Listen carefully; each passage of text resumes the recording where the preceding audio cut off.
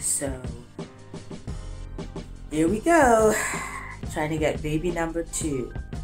IVF start for baseline for egg retrieval.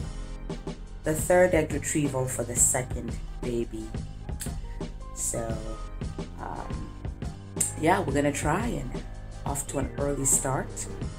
And today, I just have to go to one facility to be able to test for my baseline, which is going to see my antral count, FSH, and uh, um, I think they're also going to test my estrogen or progesterone, one of those two. So I'm not sure, so we'll see. So it's off to an early start. The grind continues.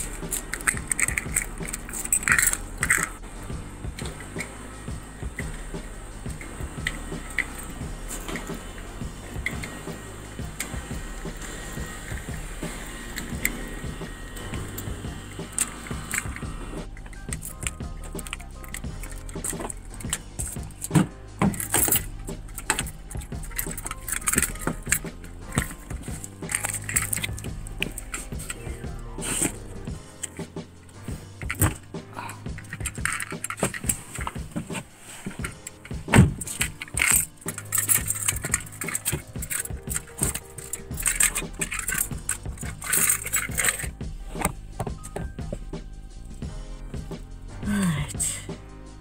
Take off my mask. Never be too safe.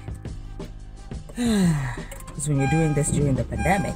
Alright, next you're gonna see me going into the hospital for my baseline.